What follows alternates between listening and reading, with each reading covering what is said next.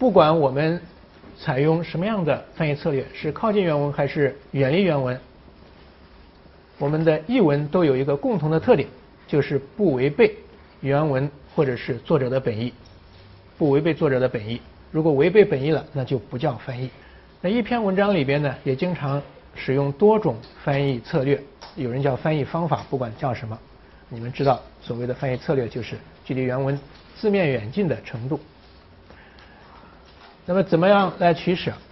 啊，这个很简单的规则就是可以直译的，直译可行的就直译，直译不可行的，在不改变原意的情况下灵活翻译，就这么简单啊。那么灵活翻译可以是啊字词句层面的调整，也可以是通篇的调整。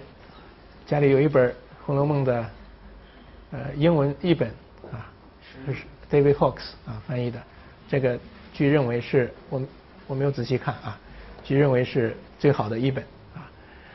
嗯，在第一回里边，我举个例子啊，讲这个石头记的来历。你道此书从何而来？说起根由，虽近荒唐，西岸则深有趣味。待在下，待在下将此来历注明，方使阅者了然不惑。原来女娲，女娲是炼石补天之时，于大荒山无稽崖炼成高经十二丈，方经二十四丈，顽石三万六千五百零一块。娲皇氏只用了三万六千五百块，只单单剩了一块未用，便弃在此山青埂峰下。谁知此时自经锻炼之后，灵性已通，因见众石俱得补天，独自已无才，独自己无才，不堪入选，遂自叹自怨，日夜悲号惭愧。啊，这是讲一个故事。那么这样的故事并没有什么难处，那我们自然。可以把每个地方都翻译出来。Gentle reader, what, you may ask, was the origin of this book? Though the answer to this question may at first seem to border on the absurd, reflection will show there is a good deal more in it than meets the eye. Long ago, when the goddess Nuwa was repairing the sky, she melted down a great quantity of rock and on the incredible crags of the great Fable Mountains, molded the amalgam into 36,501 large building blocks, each measuring 72 feet by 144 feet square. She used 36,500 of these blocks in the course of her building operations, leaving a single odd block unused, which lay on its own at the foot of the Green Sickness Peak in the aforementioned mountains. 那这个都没有什么出奇之处啊，但是遇到难翻的地方，啊，David Hawks 就采用了非常灵活、变通的方法，甚至不翻译，有些诗歌呢是不翻、没有翻的。啊，甄士隐《梦幻石通灵》，贾雨村《风尘怀闺秀》。甄士隐 makes the stone's acquaintance in the, in a dream, and Jia Yuzun finds that poverty is not incompatible with romantic feelings 啊，这个你要跟原文对的话啊，不不太能对得上，但是意思是这样。贾夫人先是扬州城，冷子兴演说荣国府。A daughter of the Jias ends her days in Yangzhou city. the term of this lease shall be for 12 months, the initial term, commencing on April 15, 2006, the commencement date, and terminating on April 15, 2007, termination date. Tenant shall have the right to extend this lease hereinafter the extended term by giving landlord written notice of its intention to do so at least two months prior to the end of the initial term or subsequent extended term. 原文说的是，乙方有权在初始租期届满前两个月，以书面的方式通知甲方续租两个租期。Tenant shall have the right to renew this lease by two lease terms。那么还有一个是，乙方有权在两个租期届满之前两个月，以书面方式通知甲方继续租每一个租期，再租一个租期。The tenant shall have the right to renew this lease by one lease term 什么什么，是两个意思。它在合并的时候呢，其实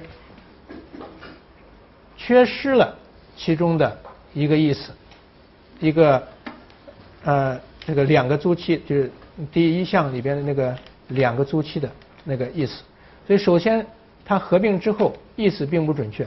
第二呢是没有必要合并，因为合并带来了更大的麻烦。所以在遇到这样的文本的时候，你千万不要随便调整原文的结构，编号也不要调整，编号也不要动。我刚才讲到，在翻译有些文本的时候呢，需要灵活把握；有些文本呢，就需要非常严谨、非常呃拘拘谨啊，亦步亦趋，尤其是法律文本。但是呃。法律文本呢，也不是说只有一种文本啊，有的是法条，有的是法学家写的著作啊，有的是关于法律问题的报告啊，呃，法律的本身的这个文本也是多种多样的，所以不同的文本呢，我们还是有不同的灵活程度，不是说呃所有的法律文本都必须怎么样翻译。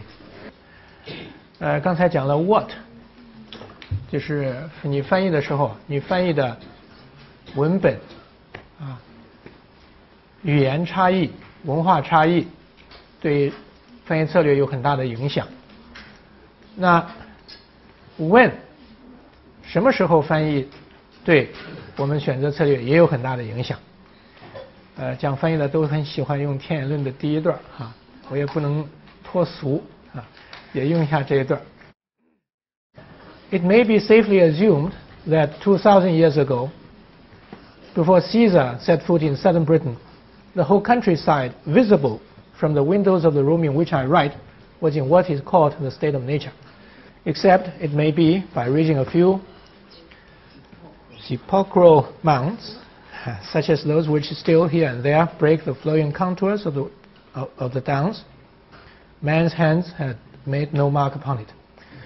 And the thin veil of vegetation which uh, overspread the broad-backed heights and the shelving sides of the combes was unaffected by his industry.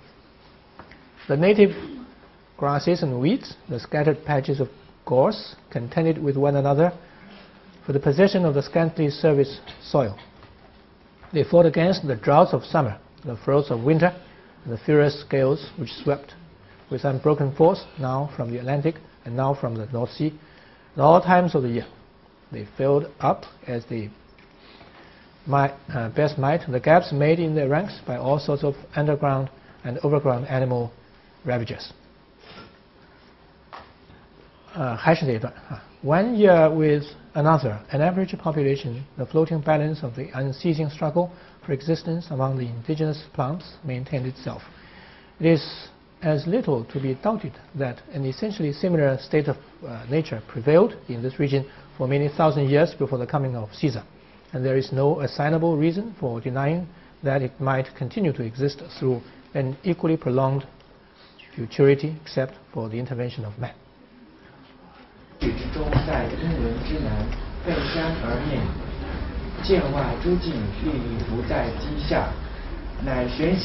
二千年前当罗马列呃，当罗马列大将呃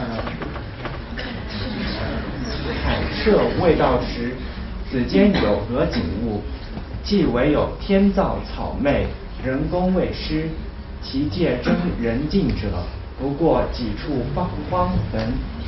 但见呃散见坡驼起伏间，而灌木丛林，朦胧山路。未经山治如今日者，则无疑也。陆生之草，之藤，势如针长相雄，各具一抔壤土。夏雨未日蒸，冬雨严寒呃严霜蒸。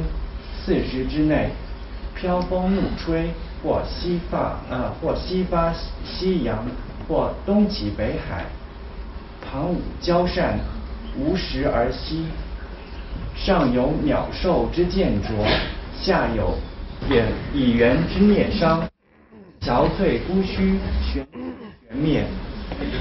晚乎顷刻，莫可究详。是礼礼者，以各尽天能，以自存种族而已。战士赤自然，强者后亡，弱者先绝。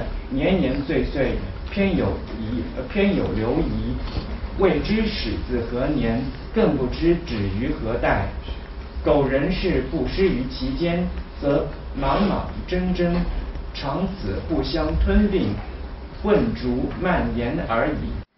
那么这个《天演论》呢，是是在清朝末年翻的啊。当时大家所通行的语言呢，就是这种这个呃这种文言文啊，所以它不可能用白话啊。所以它的历史背景决定了它采用这种翻译方法。那时过境迁，到今天我们读起来虽然这个呃味道很足啊，但是我们还是不太习惯阅读这样的文章，因此我们就需要重新翻译。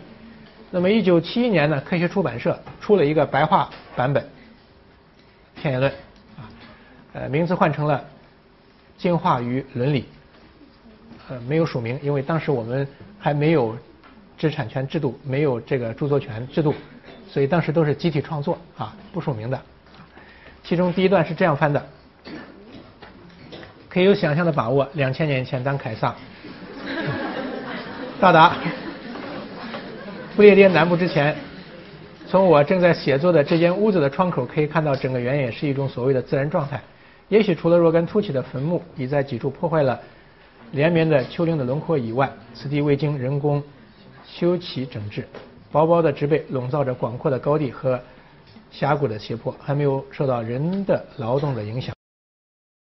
和杂草分散在一小块一小块土地上的金雀花，为了占据贫乏的表面土壤而相互竞争着。他们同夏季的烈日斗争，同冬季的严霜斗争，同一年四季从大西洋或北海不断出来的狂风斗争。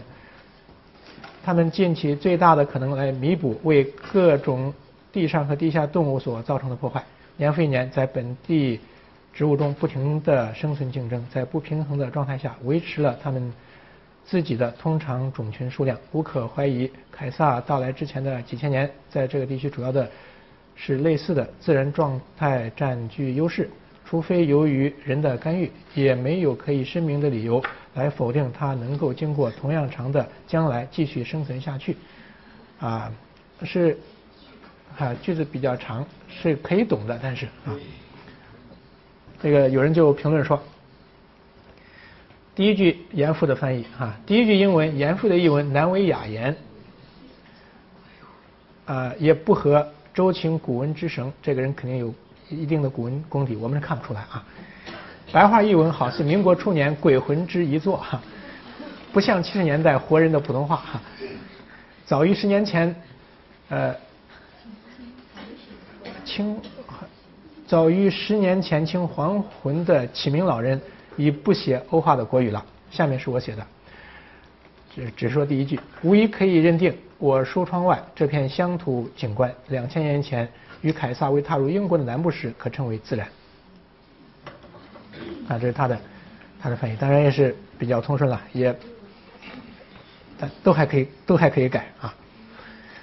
那这个例子说明说明什么？说明我们在不同的时代可能需要对同一篇原文进行不同的翻译。这也说明了为什么啊过去翻译的一些经典啊随着时间的推移还是有必要进行重译的。呃，这是 when，再谈一个 where 啊，在呃什么地方使用译文，使用译文的空间大小，使用译文的媒介，对我们翻译呢都可能会造成影响。我举几个例子来说明这个问题。先说一个标志的问题。呃，我们家的公园旁边啊，呃有一个牌子叫做“公共绿地，小狗莫入”。这个公共绿地，小狗莫入呢，意思就是不要带宠物进去，No pets allowed。所以你就翻译成 No pets allowed 就行了。至于公共绿地啊什么，呃，它也它是个公园嘛，它也不是一块绿地。你放在公园门口，其他的就不用说了，不用说了。No pets allowed 就是不让你带狗进去的意思。带狗或者任何宠物进去的意思。所以小狗呢也不是小狗，是宠物啊。公共绿地是不言自喻的，不用说了，是不是？我们就用很灵活的翻译方法来达到这个标语所表达的功能。所以在翻译标志的时候，你只要你要做到简洁、醒目、达意。要醒目的话，就要大，这个字要大啊，要大。简洁，本来一个小牌子，你弄很多字挤不上去啊。达意，要能够发挥这个标志的功能。呃，我们在翻译任何东西的时候，如果背景已经告诉了我们相关的信息，其他话就不要说了，越简洁越好，越简洁越好啊。呃，再举几个例子，厕所里，呃。拉那个做垫纸的哈那个盒子啊，呃，这这这地方开了一张口，开了一个口，有坐垫纸可以拿出来啊，呃，这是那个坐垫纸的纸盒，蓝色的部分，那个上面写着啊，一张垫纸一份清洁，一张垫纸一份清洁，这边呢还有一个图啊，呃，这个。这是一个图片，上面写着，这上面写着两行字：微不足道小动作，举手之劳显文明。我到什么地方都爱观察他们这个标志的翻译。哎，我说这一张垫纸一份清洁，OK，这个可以理解啊。你嫌别人脏，你拿块垫纸垫在上面，清洁啊，干净。这个微不足道小动作，举手之劳显文明，这个和一份清洁怎么连起来呢？后来我我发现呀，呃，这个牌子就是微不足道小动作，举手之劳显文明，和这个牌子就是这个标志是写在在机场各个地方都有。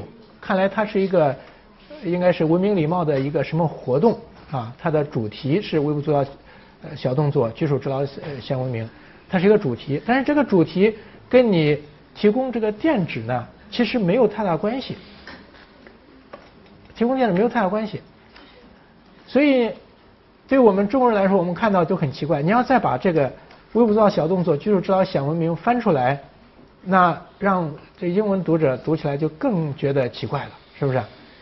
那么这个垫纸纸盒的功能就是告诉你这有垫纸，你可以取用哈。所以英文是没有必要按照字面翻译的，你就写 toilet seat cover，这上面的英文啊，toilet seat cover，这样就已经足够，足以实现它的功能了。什么一张垫纸一份清洁，微微不足道小动作就是知道小文明啊，这个都完全没有必要，完全没有必要啊。而且再说了，这微不足道小动作就是知道小文明，这是一个很小的空间，你把它翻出来放在哪儿，挤在什么地方？所以在这样一个情况下，只需要一个简单的说明，其他的都是没有必要的。呃，这是这个洗完手一个擦手纸啊，那上面还是贴着同样的那个标志，也是一个圆圈哈，就是这个圆圈啊，上面有还是微微不足道小动作，举手之劳显闻名，这个跟擦手也没多大关系啊。